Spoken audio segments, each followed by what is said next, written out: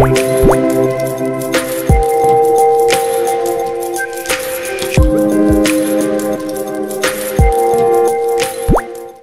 everyone, this is Phani. You are watching Phani HS Info. Today I am going to talk about neutralization of chemicals. Spill of hazardous substance must be observed, neutralized or controlled at the time of incident in an order to maintain workplace safely. Acid and base neutralization helps to make spilled materials safer to handle and helps decrease the cost of disposal.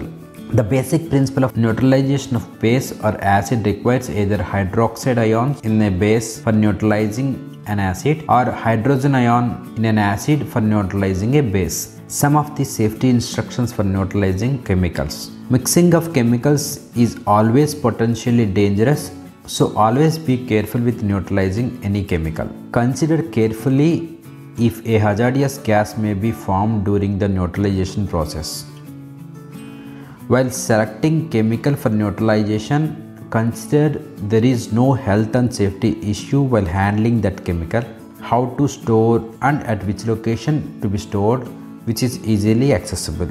The users must consider the concentration to be used, must carefully analyze all chemistries involved, must review manufacturer's warning and instructions, and must consider common safety measures for hazardous liquids. The most common neutralizing chemicals are sulfuric acid, carbon dioxide, which converts water into carbonic acids, boric acid also called as hydrogen borate, caustic also known as caustic soda, calcium hydroxide also known as liquid lime, ammonium hydroxide also known as 9% liquor ammonia, potassium bicarbonate also called as potassium hydrogen carbonate, potassium permanganate also called as Condy's crystal, sodium hypochlorite is called Dakin solutions and sodium thiosulfate also called as hypo. In most cases sulfuric acid and sodium hydroxide will be used. Carbon dioxide which converts water to carbonic acid in cement pouring operations large amount of alkaline waste treated with carbon dioxide. Base spill should neutralize with boric acid example NaOH and KOH. Caustic soda neutralizes the acids and forms salt to be used for weak bases only example sulfuric acid. Slaked lime Slaked lime due to its low toxicity and mildness of basic properties it is widely used in neutralizing acidic materials whose pH is less than 7 example HCl. 9% liquor ammonia the reaction between oxygen and ammonia gases produces urea and ammonium chloride. Hence, it is used for bromines and triphosgenes.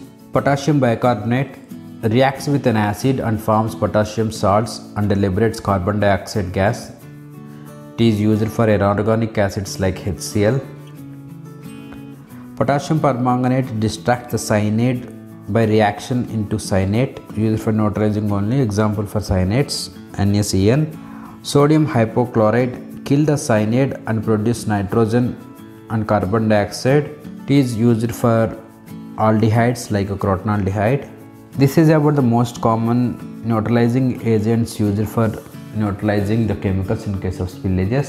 Thanks for watching and please subscribe and share my videos. Have a safe day.